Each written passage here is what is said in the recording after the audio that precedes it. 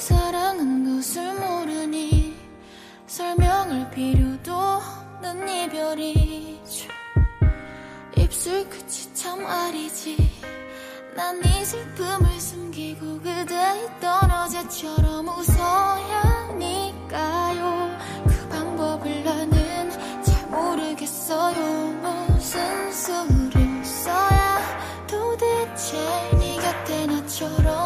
행동하고 말할 수 있겠나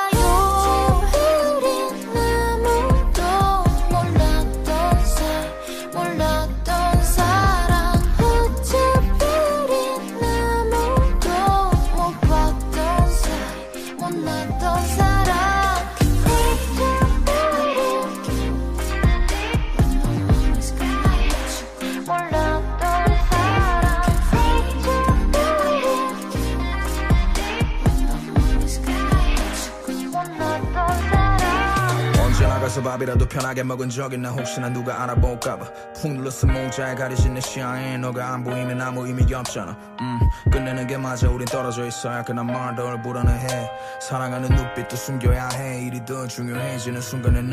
어, 평범하게 살길 바라는 건 우리의 꿈 혹은 욕심. 그걸 포기하고 얻은 것들은 또 쉽게 못 내려놓지. 우리 만난 건 진짜인데 헤어지고 나니 결국 허구였지. 감추기 바빴으니 그럴싸한 추억 그런 거 한 개도 없이